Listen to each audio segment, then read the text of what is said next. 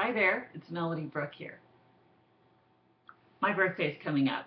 I'm not going to tell you which one because I'm an actress and I want people to project on me whatever age they think I am. But in any case, it's a significant birthday. And in thinking about the fact that I am, here we are, another year is gone, another year passed, another year older, I thought about the fact that a lot of us are uncomfortable with the idea of getting older. And the truth is, it's not about getting older. It's about aging. We can't help but age. We, we add a year every time we're lucky enough to continue living on this planet. So we have no choice but to age. But we do have a choice about getting older.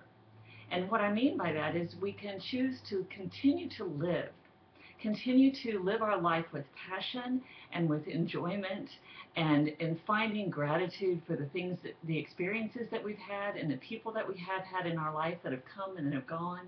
And to be able to continue to have a hopeful positive outlook even if the number of years ahead of us are shorter than the number of years behind us.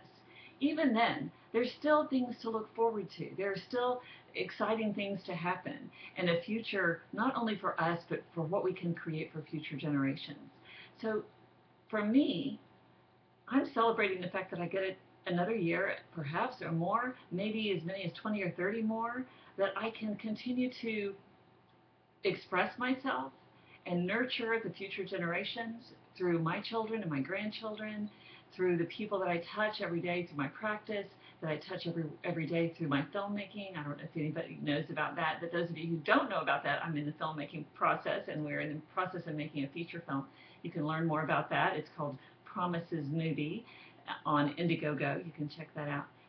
But the main thing is, I just want you to to celebrate every day that you have. And I know it's hard sometimes because sometimes we're just faced with so many obstacles.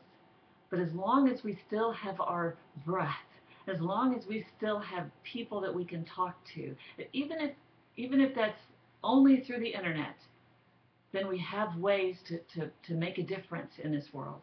So don't get old, just age. I'll talk to you later. My name is Melody Brooke. You can find more about me on melodybrooke.com, and my books are available on Audible and Kindle and Amazon. Talk to you later. Bye.